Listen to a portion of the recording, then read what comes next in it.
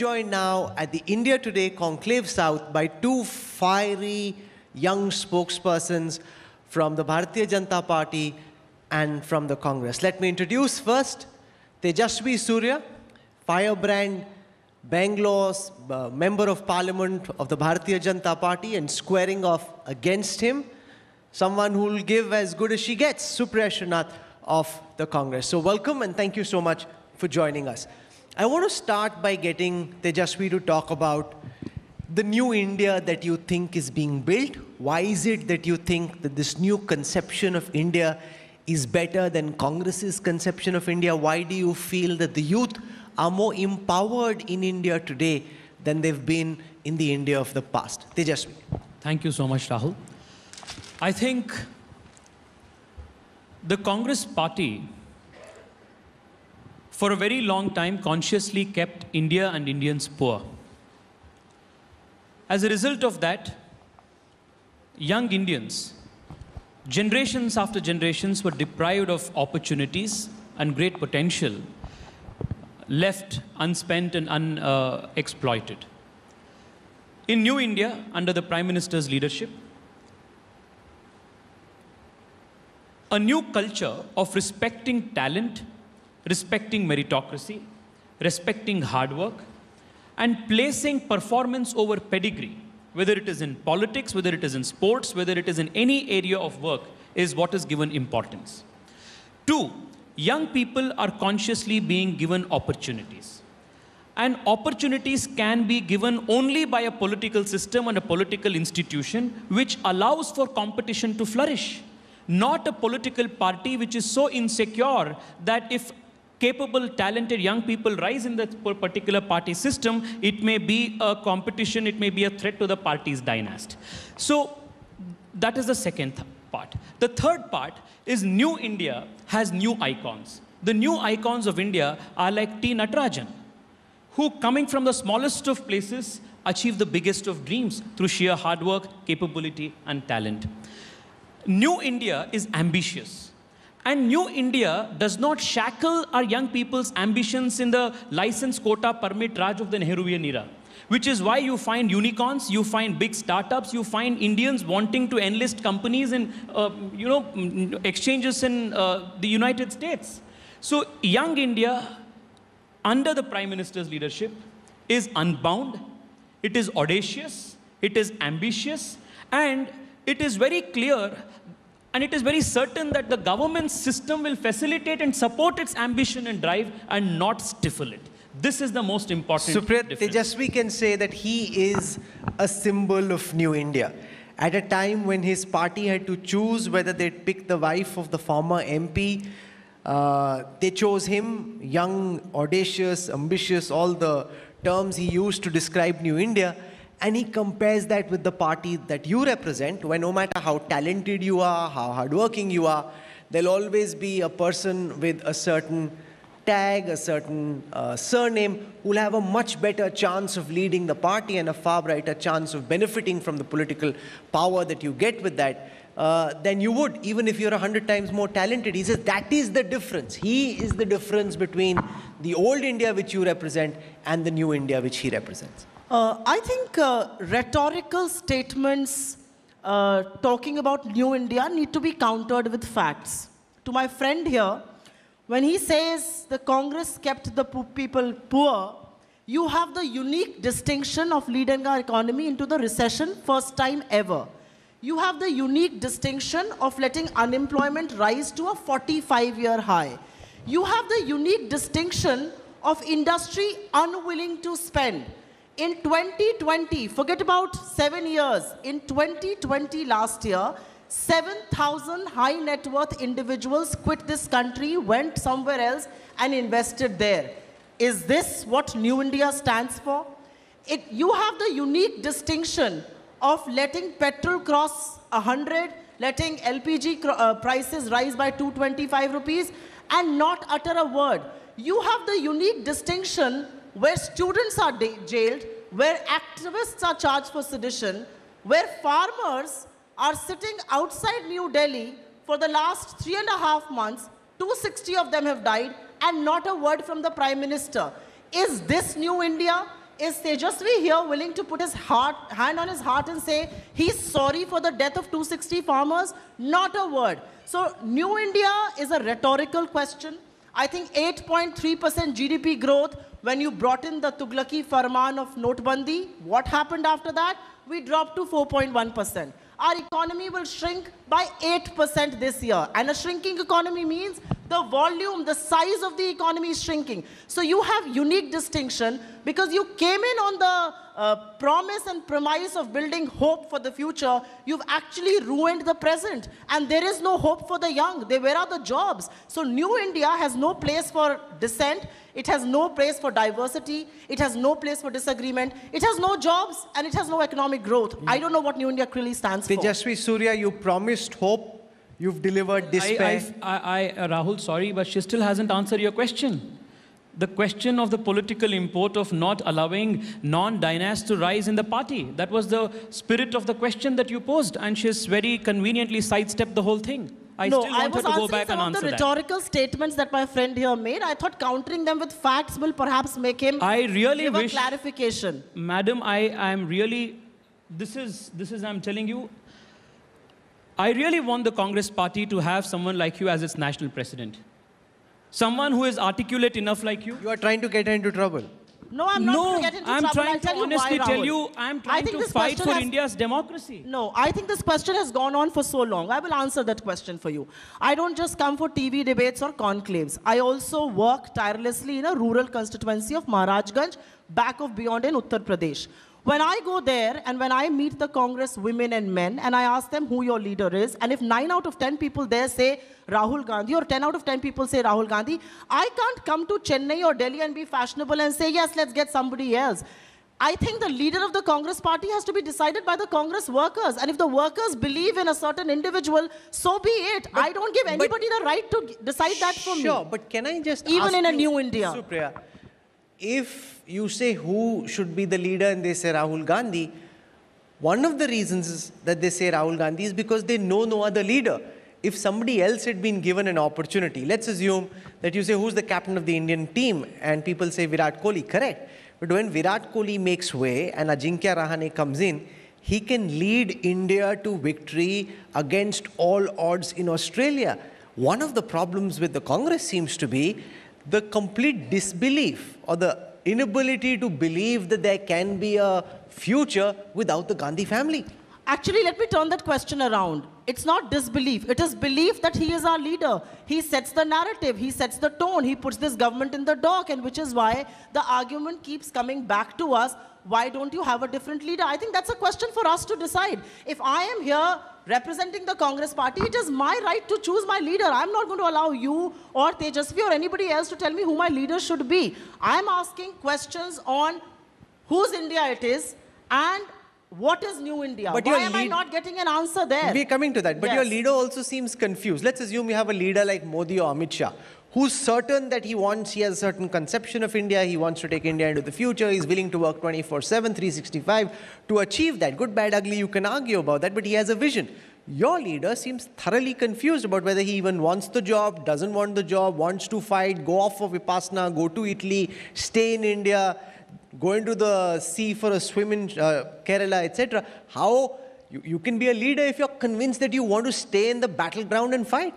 You know, as an aside, I just think Mr. Modi should start working a little less. Working so tirelessly, 18 hours, 24 hours a day, and landing us with 8% and first time recession. Let's work a little less. Let's take a few breaks. Let's come with some refreshed ideas instead of the same rhetoric of polarization, instead of the same rhetoric of New India, which are nothing but empty words. As far as my leader is concerned, I think he consistently questions this government. He wants to do the role of the opposition as well as he could. But what does the opposition need? The opposition today needs a very, very strong media, a media that is willing to ask some tough questions, and an independent judiciary. With all due respect to a profession that continues to be my first love, I don't see very many independent journalists today willing to ask questions. Uh, petrol prices are at 100. How many TV channels have done shows? We've done many shows. You've been on our show. You, you, you may be an exception.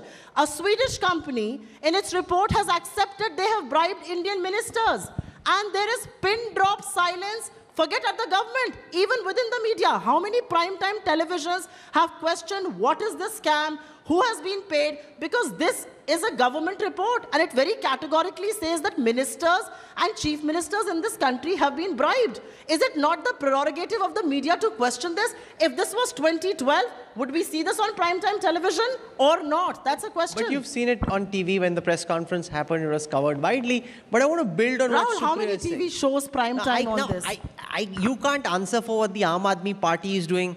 You say we are the exception. I can't answer for what the others do. Our conscience is clear. We speak truth to power and we do it as best as we can. But uh, Supriya has some questions, which is the contrast between rhetoric and fact. You promised hope. She alleges that you delivered despair, that we're in the middle of a reception, uh, recession out of which we're just emerging out of. Uh, the fact also is that unemployment is high. Farmers of Punjab, Haryana, Western UP are sitting on now a protest for more than 100 days. She also says that freedom of speech is under threat and youngsters are feeling stifled. So compare the rhetoric that you promised and the delivery on the ground. Tejasvi. Well, insofar as the recession allegation is concerned, all of us have, even Supriya ji lives in the same world as we do. All of us are aware that the COVID pandemic affected not just India but around the world, and all countries across the world are facing a huge economic challenge. So we are not isolated from that. And it's only this government which has managed to save both lives and livelihood, is why the, the recovery from the recession has been so effective and so real. Insofar as the farmers' question is concerned, I kept, in my opening remarks, I told that this country, under the name of Nehruvian uh, socialism, chose to, kept, chose to keep India deliberately poor. The governments after governments practicing the same brand of Nehruvian socialism were experts at redistributing poverty and never for an ounce created prosperity in the country. And this was done by creating hundreds of laws, hundreds of regulations. And for the first time in India's history, this government has consistently, not just in the farm sector, but across the economy, tried to unshackle the Indian economy and give the young Indian farmer as well as the entrepreneur his freedom to choose the way he wants to run his business, the way he runs, wants to run his farm, and the way he wants to run sell his proceeds. So, dialogue is necessary the very fact that the government has been speaking continuously, engaging uh, continuously with a handful of farmers from two states, Punjab and Haryana, is also a testimony to the fact that this is a government which is sensitive, which wants to indulge in dialogue. Across the country, other than the two states, farmers are very happy with these farm laws. Insofar as the question of young people, you know, jobs, everything is concerned, Rahul, there is only one fact that I want to place on record here. This government, under the Prime Minister, has lifted the highest number of Indians out of poverty ever highest number of Indians out of poverty ever have been lifted by this government. And this could not be done without creating jobs. This could not have been done without creating infrastructure. This could not have been done without managing the macroeconomy well. These are the facts, and these, whatever was so told in the name of facts, were nothing but untruth and rhetoric. How is Supriya, it untrue? Su- I'm giving you Supriya, figures. can you be accused of hypocrisy? Because you're currently here in your capacity as a Congress spokesperson. Yeah. In your previous capacity as a business news editor, if any government or think tank at that time had said we'll come up with farm laws which will unshackle Indian agriculture, ensure there is greater crop, crop diversification, allow farmers to sell directly outside the mandi, also directly to customers, get better price for their products, someone like you would have said, thumbs up, that's a great idea. And now, because you wear a political sari, your view is completely different from what it would have been in your previous capacity. I'm glad you kept it feminist and did not say hat because I'm not wearing one. Uh, I stated facts. I don't know which facts are you refuting. 8.3% was our growth in 2016. It came down to 4.1%. And let us not hide behind COVID for all your economic mismanagement. Even before COVID, for eight successive quarters, which is for 24 months, two years, India's GDP growth was consistently falling, which is how we came from 8.3% to 4.1%. That's on you. Please don't hide behind COVID. We went from five of the fastest growing economies in the world to 164th slowest economies in the world in the last one year thanks to your economic mismanagement. And these are not figures that I am building. These are figures that are coming from your agencies, the CSO, the Niti Aayog. I am not producing these figures. So either blame them for perhaps putting out what you say are untrue figures. I quote truth because I don't think there is any uh, excuse to quote half lies.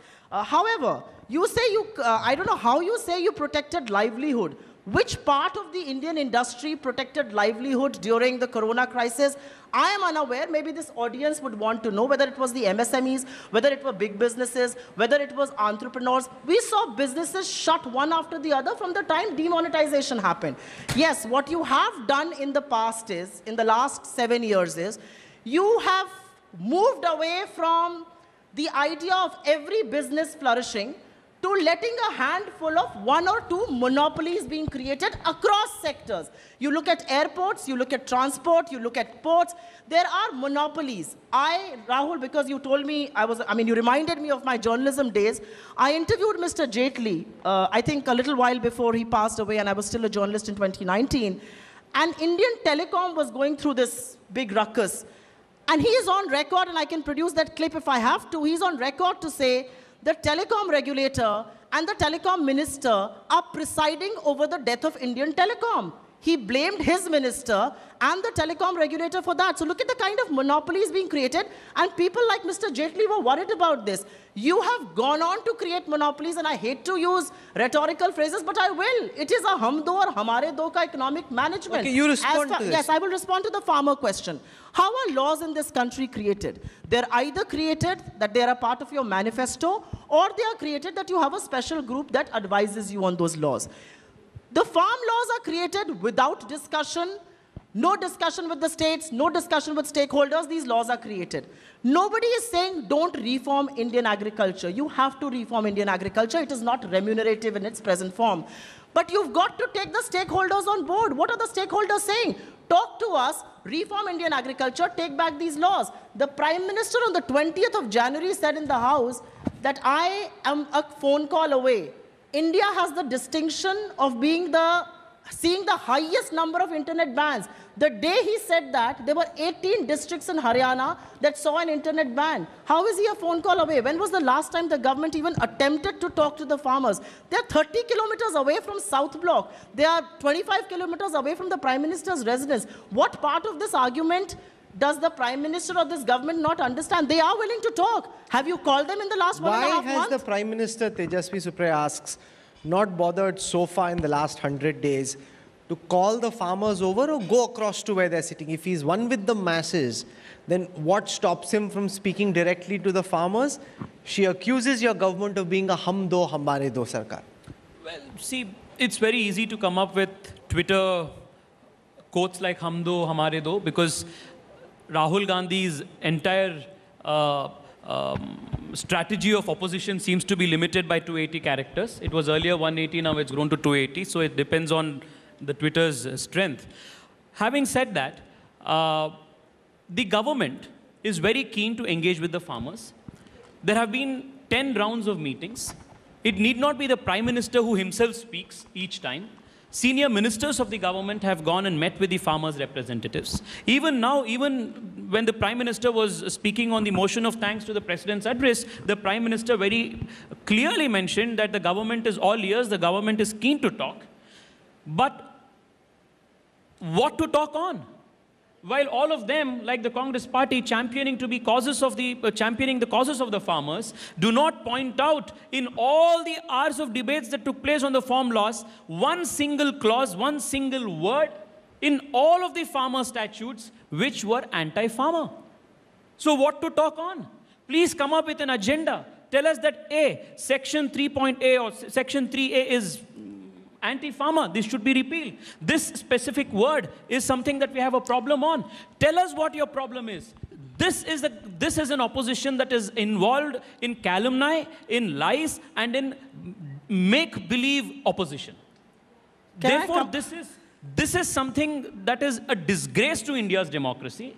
And I'm saying this with a lot of responsibility because India deserves, any robust democracy deserves a responsible opposition.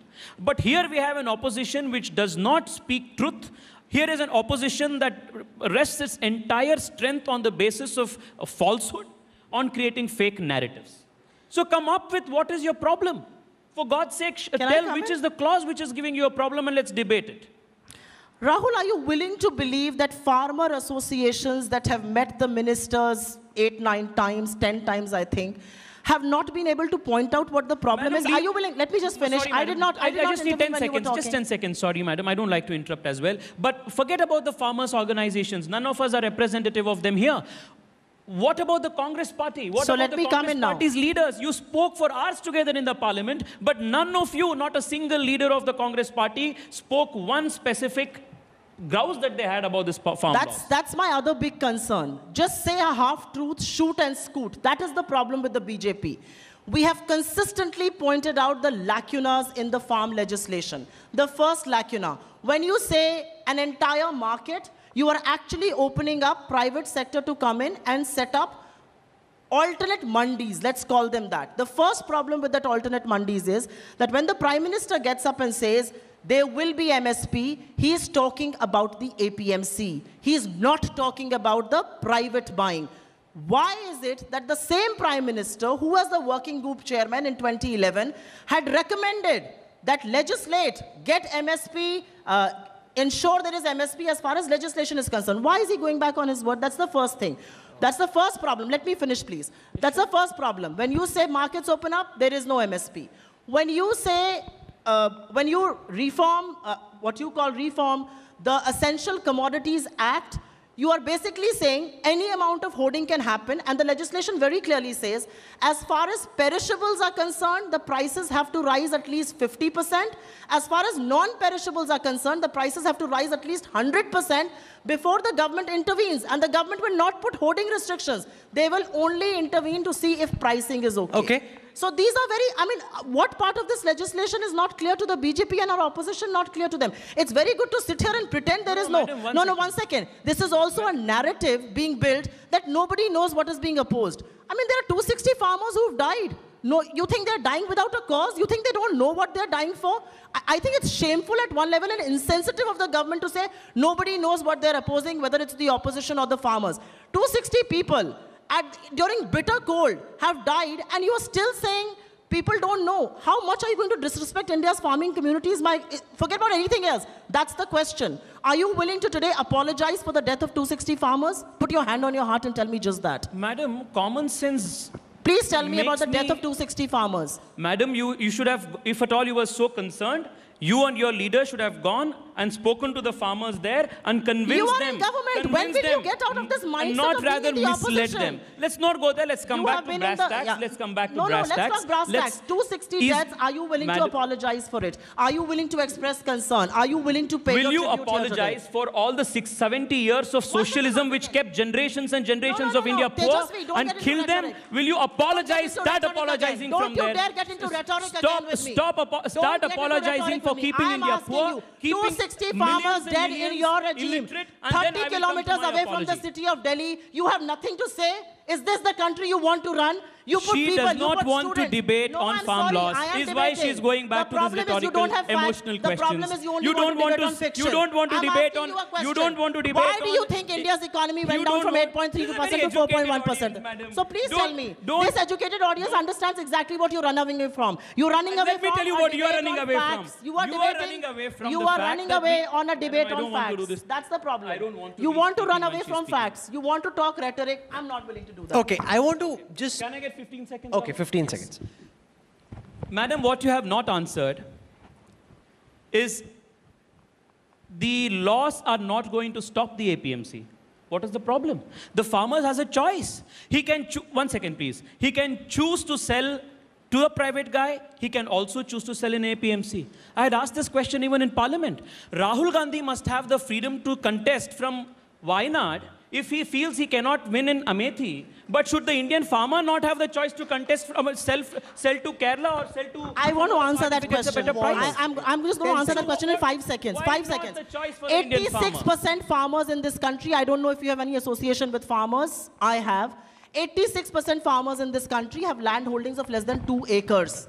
So I don't know if Tamil Nadu farmer can go and sell in Tripura or if Manipur farmer Oh, can madam, go and sell please in Meghalaya. don't Let me finish. simplify the whole no, no, thing. No, one second. How is Madam, it simplifying? please. I'm giving you facts. 86% you speak, farmers have less than two seconds. acres of I, I also want to move to That's the, the next topic. Okay, is No, no, can free- j- okay 10 seconds. No, not even that much. No, but I should have a right to retort if I want to move on also. You should See, have this actually is- told this is this about is- farm this debates, is- Rahul, rather this is than, what- this is rather what than New. India because she's very uncomfortable with discussing New India because Congress is still stuck in old No, no, India. you are the So which is why she wants to discuss only I'm on farm asking laws. You, are you willing to apologize and pay tribute to 260 farmers who are dead? Madam, start with willing to do 70 years of your You know, crimes. you are not Start with apologizing for all 70 years of your mistakes. Uh, you also Then let lied right now when you said largest number of people out of poverty. World Bank report says the largest number of people are being pushed under poverty because of your economic mismanagement. Okay, You should so, start you reading know, economic one data of- will do you one some of good the in things politics. I don't know which Google you refer to. No, I don't refer to Google. I, I don't come from your, University. I don't come from the IT cells that fabricate WhatsApp and fake news. I come from uh, an institution where we believe in researching, where we believe in data. It's time we Rajiv start Gandhi doing that. Institute. No, I come from an institute where I've been taught to research data.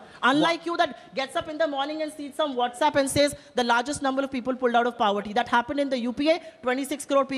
You should know that. If you don't know that, shame on you. Well, please, I, I wouldn't.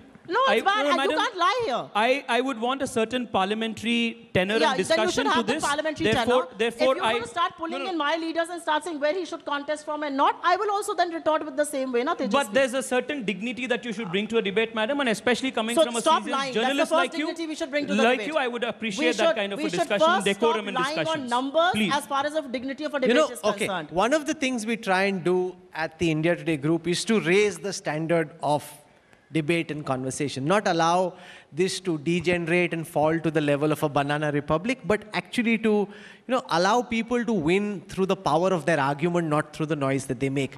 In the few minutes that we have left now, I want to focus on this whole aspect of freedom of speech in New India.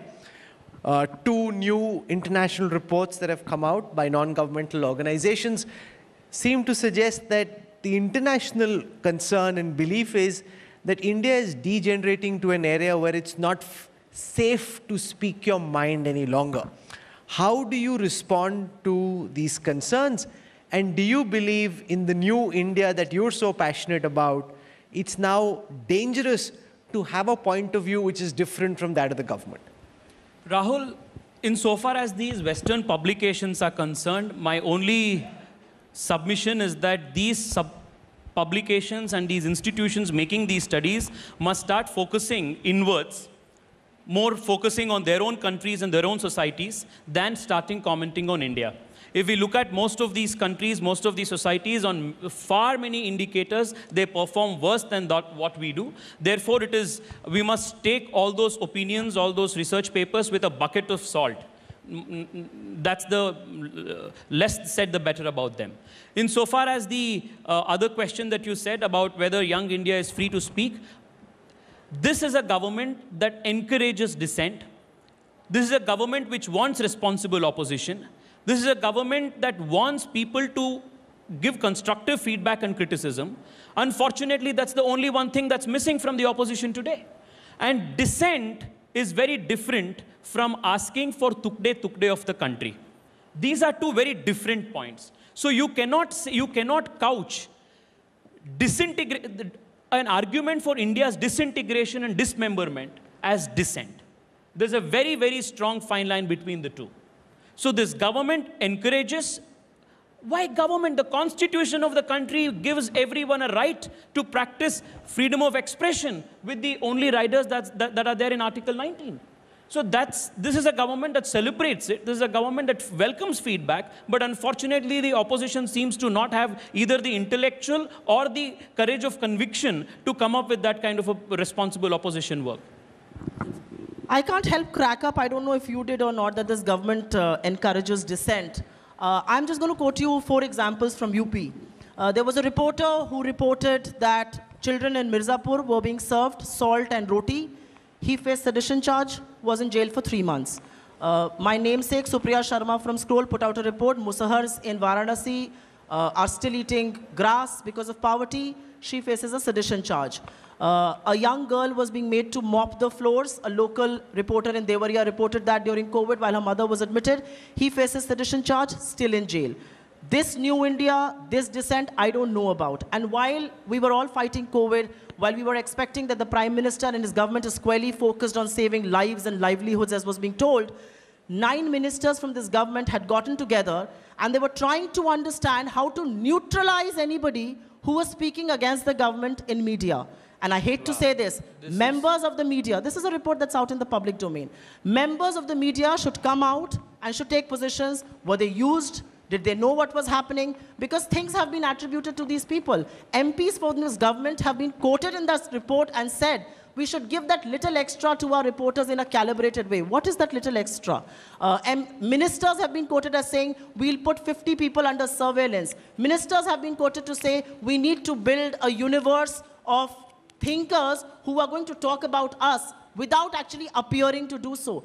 If you're doing everything right, you don't need to control narratives. Narratives will get built if you were doing the right thing. The problem is, you raise a voice against the government, you will be called a, dis- a dissenter is today uh, going to be faced with sedition charges, and that is across segments. It's journalists, it's bureaucrats, it's leaders in the opposition, it's, jo- it- it's, it's, it's everywhere. And if Tejasvi? you join the BJP though, तब आप गंगा नहा लेते हैं Mukul Roy, Hemant Biswa Sarma Reddy any आप BJP में आ जाइए, आप एक गोता लगाकर आ गए, कोई दिक्कत Tejashwi in this new India the opposition alleges you can be arrested for jokes you don't crack that you can be charged with sedition for putting out a story the government doesn't like you studied law you have a good understanding of law do you think this government is using the sedition law excessively and does that undermine the idea of freedom of speech and expression that you were talking about so passionately? Not at all. There may be instances that may have happened at a SHO level in some parts of the country, but that cannot be the policy of the government. The government is very clear that the government encourages all kinds of dissent. The government uh, protects constitutionally all uh, freedom of expression of every Indian citizen. And this is the stated, this is the most tolerant most supportive government ever that we have all known, which supports consistently different views. It's sad that the opposition, instead of cracking wit, bringing wit, bringing jokes to uh, discussion, has become a joke by itself. So that's, that's the cause of worry and concern, Rahul. People are arrested and police cannot produce witnesses, police cannot produce evidence, but people have been jailed for three months. Madam, what sort of I do not are we even want to start. I'm- I do not even sort of want to governance start are we talking by the kind of harassment journalists are being meted out in your supported Maharashtra, and you are here coming and giving lecture on freedom of expression. Let's talk about freedom of the speech kind and of expression in the harassment that journalists are The being meted out to in Maharashtra. the complete the kind breakdown of of harassment that you you met out to journalists and kind of banana cartoonists in the kind of your uh, the kind of uh, character I do not even assassination people get do.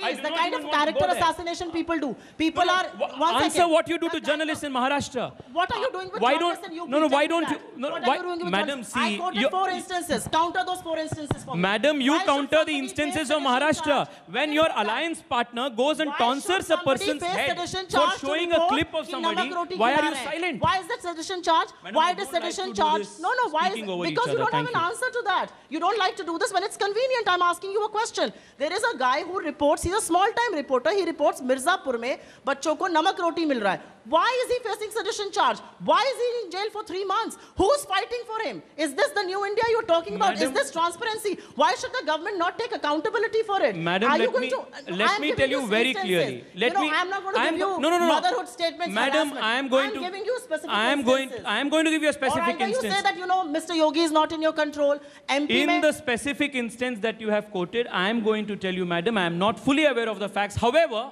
hang on, madam, hang on. No, no, Answer hang on, hang on, hang You on. can't say I'm not However, aware of the facts. please hang on, listen to this.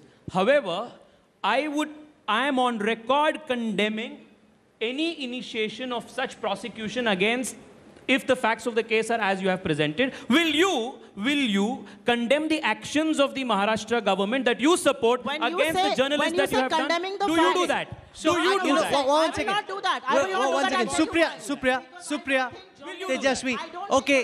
Think what's being done I have the courage of conviction. Do you have journalism. courage of I have conviction? been a Sup- journalist Supriya, as stand by not your journalist. Supriya, I don't Tejasvi. support it. I will No, not stand by it. Supriya I'm asking you. No, one second. We're now coming to the end of this conversation.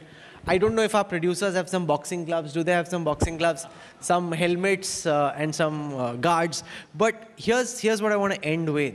Is it not a fact, Supriya, that over the past six years, Tejasvi's party, the Bharatiya Janata Party, has demonstrated the ability to appeal to India's youth far more successfully than your party has. For all of what you may say, young India at this moment, when it comes to voting, is going out in large numbers and voting for the Bharatiya Janata Party, where despite everything you've just alleged, your party hasn't been able to win the young vote. You wait and see what happens next.